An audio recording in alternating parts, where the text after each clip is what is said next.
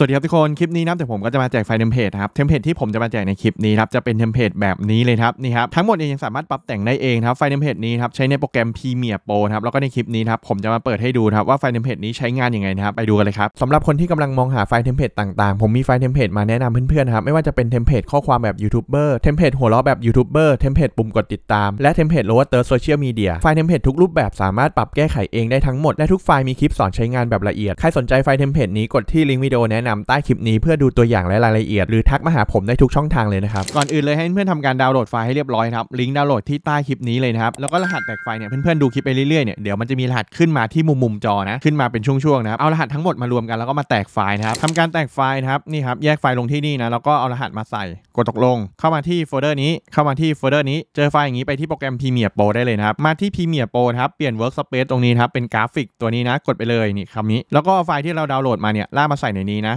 แล้วก็ทำการเลื่อนหานะครับมันชื่อว่า lower third นี่ครับวิธีการใช้งานเนี่ยก็คือลากลงที่ไทม์ไลน์ของเราแบบนี้เลย 3 ตัวนะครับลากลงมาให้หมดเลย มันจะต่างกันที่ความกว้างนะต่างกันที่ความกว้าง ใครแบบข้อความยาวข้อความอะไรเงี้ยก็ใช้ตัวยาว หรือใครข้อความสั้นก็ใช้ตัวสั้นอะไรอย่างงี้เนาะกดที่ตัวเทมเพลตนี้เนี่ยมันจะเด้งมาที่แถบ edit ตรงนี้นะเพื่อนๆสามารถเปลี่ยนข้อความนี้ได้เลย เปลี่ยนฟอนต์เปลี่ยนขนาดความห่างบรรทัด อยากพิมพ์2บรรทัดก็ได้นะอ่าลองดูพิมพ์2บรรทัดนี่ครับความห่างบรรทัดปรับไป แล้วก็เลื่อนตำแหน่งข้อความดูอ่าแล้วก็สีข้อความอะไรเงี้ยก็ลองเปลี่ยนกันดูตำแหน่งข้อความความสูงนี่ครับเห็นไหมมันจะปรับความกว้างไม่ได้แต่ปรับความสูงได้นะ แล้วก็อะปรับประมาณนี้ถัดลงมาครับชุดที่1ไล่สีชุดที่1ไล่สี2เนี่ยสี1สี2เนี่ยมันก็คือไอ้ชุดด้านบนเนี่ยมันก็เป็นแบบไล่สีอะ่ะเพื่อนๆลองเล่นลูกเล่นตรงนี้ได้นะ สมมุตินะ อันนี้ลองมั่วๆไปเนี่ยอย่างเงี้ย มันเป็นแบบชุดที่1ชุดที่ 2อะอันนี้สมมุตินะ เดี๋ยวผมลองอีกสีหนึ่งลองสมมุติดูเนี่ยอะไรอย่างเงี้ยลองเปลี่ยนสีตรงนี้เล่นดูได้นะ แล้วก็ขนาดขอบเนี่ยก็คือขอบตรงนี้นะนี่ครับขนาดขอบแล้วก็สีขอบก็เปลี่ยนได้นี้ผมเปลี่ยนสีให้เป็นแบบมั่วๆไปเลยนะเออให้เห็นภาพ